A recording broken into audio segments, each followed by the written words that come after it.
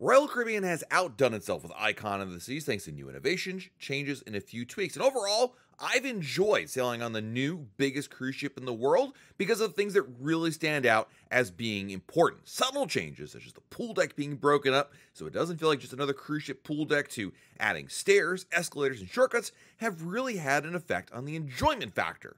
Like any Royal Caribbean ship, I can't help but compare and contrast it to other ships, and I found a number of things that I really enjoy and some other things I wish they would change. Being the first ship in the Icon class, it's impressive to me how much Royal Caribbean got right out of the gate. The line has spent a great deal of time mocking up venues at their headquarters and utilizing virtual reality to better understand the flow and feels for venues that never existed. The result has been fantastic. So I thought about my time on Icon of the Seas and what I've enjoyed about the ship and what truly stands out. First and foremost, without a doubt, Icon feels totally uncrowded. From the day I boarded Icon of the Seas, it became clear that crowds have really not been an issue, and it almost feels weird how uncrowded the ship is. I'm not saying Icon feels like a private yacht or there aren't any lines, but it has been remarkable how uncrowded the ship has felt. It's been especially true in places that I usually expect to find a lot of people, like the pool deck or Royal Promenade. On a sea day, I walked around Chill Island to find a crowd. I walked between all the different pools, and truly, the only places where I really found the largest crowds were at the Hideaway, which is the adults only pool area, and the Swim and Tonic, which of course is the swim up bar. Those two venues I knew ahead of time were going to be popular, but the rest of the pool deck was really manageable. In fact, if you walked around the pool deck even at like, you know, noon or one o'clock in the afternoon, prime time on a beautiful sea day, there were oftentimes plenty of chairs. Some of the chairs on some sections of Chill Island were completely empty, like there wasn't a towel to be seen in the area.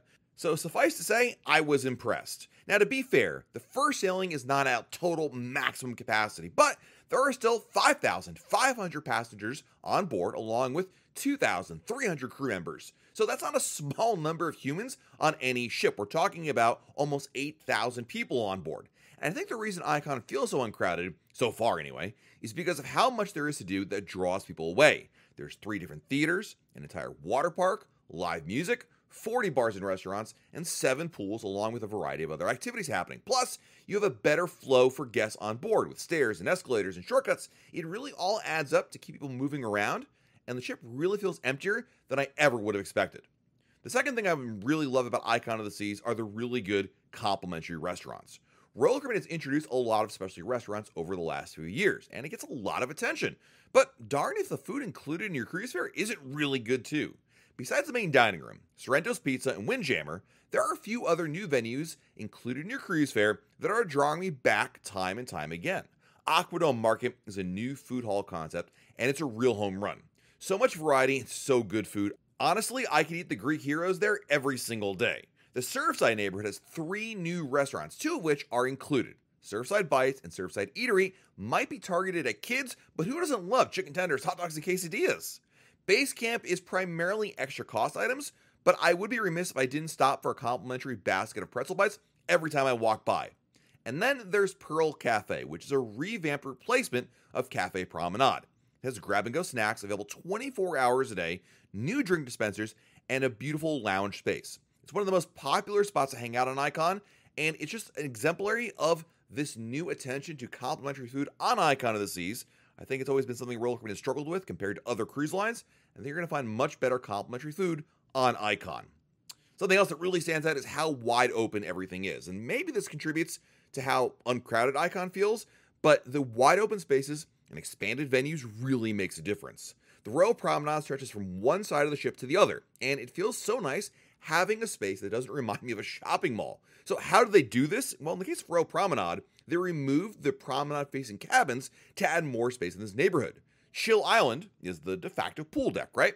But Royal Caribbean has spread out the pools and added so many chairs in the shade and sun that you can roll up to the pool at lunch on a sea day and still get a chair. That might not sound like a big deal unless you've been on other ships and know how contentious it can be to get a chair on the pool deck anytime after, like, I don't know, 10 o'clock in the morning. But it's incredible how wide open and how well dispersed. By not having a giant pool, like usually on a cruise ship, you have a pool, or maybe like in the main pool, kids' pool, and the adults' pool, right? The solarium. Here you have smaller pools, some of which are actually pretty big, but go with me on this one. They're not all just all together, they're around the ship, and that really helps move people around. By opening up these decks, to me, it really feels like you have more space to spread out. Something else I really loved about Icon of the Seas was the Empire Supper Club. I wasn't sure if I would like Royal Caribbean's most expensive specialty restaurant ever, but I ended up loving it. I went there twice, and Empire Supper Club is a new dining experience, and the only comparison I can really draw to is the chef's table. Chef's table, in my opinion, had three flaws that kept me from ever loving it. Number one, you have to sit with strangers. Number two, it's paired with a lot of wine, like way more wine than I could ever want. And three, the food was always a little too frou frou for my tastes. Empire Supper Club addresses all three of those problems, and includes amazing entertainment. It's an intimate dining experience, to be sure, but you're seated at your own table, so you don't have to worry about awkward conversations with strangers at the onset of the meal. And instead of wine pairing, each course is paired with cocktails, and I think there's more universal appeals to cocktails than wine. I certainly like the better anyway myself. As for the food, the entrees are fantastic, such as the Chilean sea bass, and I found each of the appetizers really tasty as well. Given the pacing, I think there's plenty to eat, and it's all really, really good. Now, I get it. It's $200 a person to eat at Empire Supper Club, so it's not cheap. And it's not the restaurant you're going to go to every single night of your cruise. But I do think it's worth trying as a way to celebrate being on vacation and splurging a little bit. Something else that's really near and dear to my heart that I love about Icon of the Seas is there's more outlets than ever. You will not have to go very far to find a power outlet on Icon. There are more electrical and USB outlets on Icon of the Seas than I've ever seen on any other Royal Caribbean cruise ship. This is so helpful to ensure you don't have to keep going back to your stateroom to charge your devices.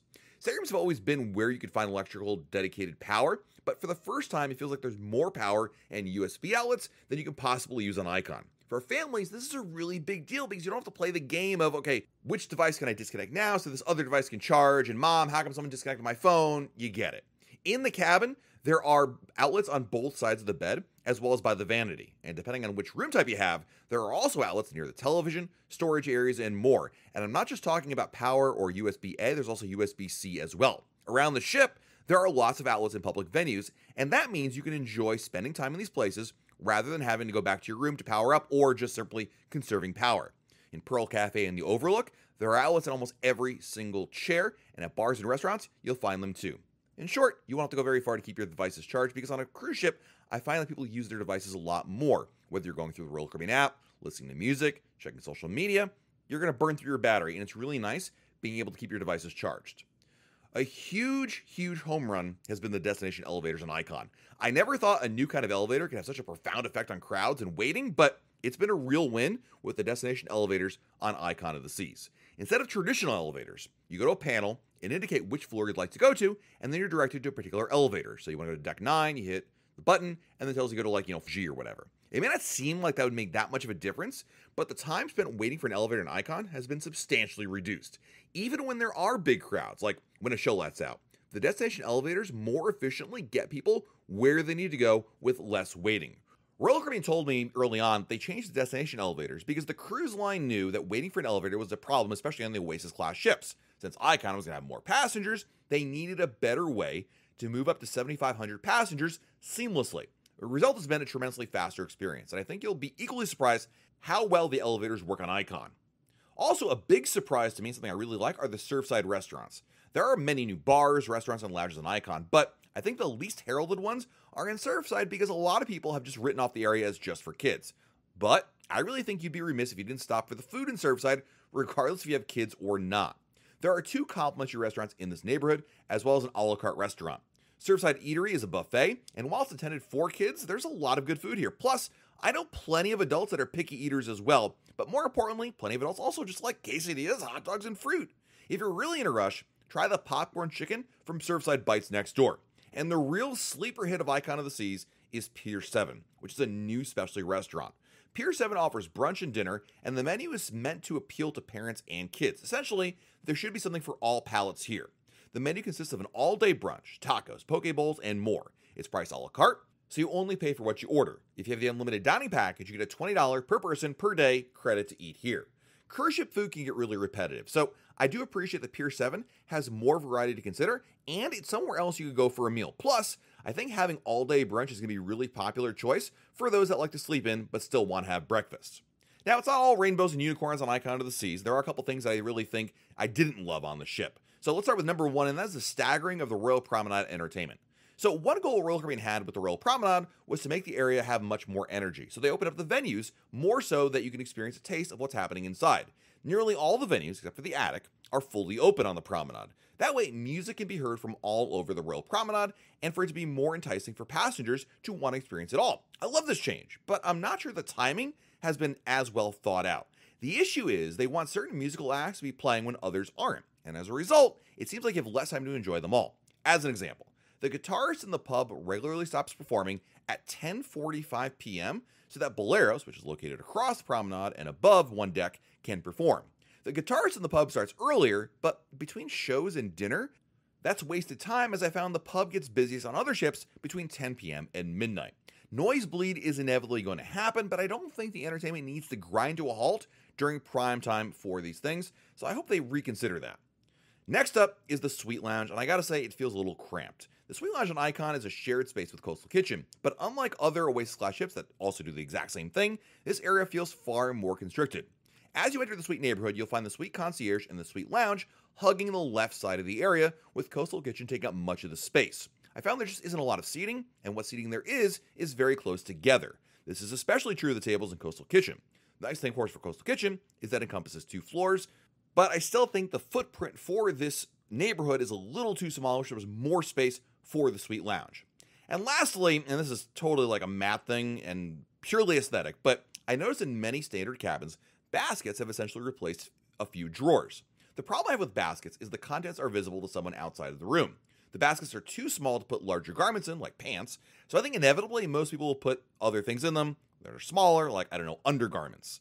Regardless of what you put in there, if you have friends that come over to your room to hang out, the clothing is visible, and that bothers me personally. Again, that just could be a me thing. But speaking of storage, there is sufficient room to put your clothes and belongings away. However, I do feel like there's less space to put your stuff away, like less drawer space and whatnot, than on, say, on Wonder of the Seas. And I think the change is a result of removing the storage that used to be around the bed frame, like again, on Wonder. On Wonder, there would be storage space above the bed and to the sides. And on Icon, that space doesn't exist. Instead, they made it a little prettier, and I certainly appreciate that, but there is still plenty of space to put your belongings away, but it doesn't feel like there is as much space as you might find on a Oasis class ship, if that makes sense. So there you have it, the things that I liked and didn't like about Icon of the Seas, things that really stood out. Obviously, there's a lot more things that I liked about it and plenty of things to enjoy about Icon, but these were the seven things and three others that kind of stood out as top of mind having sailed on Icon of the Seas. Let me know in the comments below if you've sailed on Icon, what your thoughts are on things you absolutely love about this ship, and I'm looking forward to reading your comments down there below. While you're down below our video, hit the like button, subscribe to our channel, and turn on notifications. That way, YouTube lets you know we have a brand new video to share. This has been Matt from RoyalCaribbeanBlog.com, and we'll talk again real soon.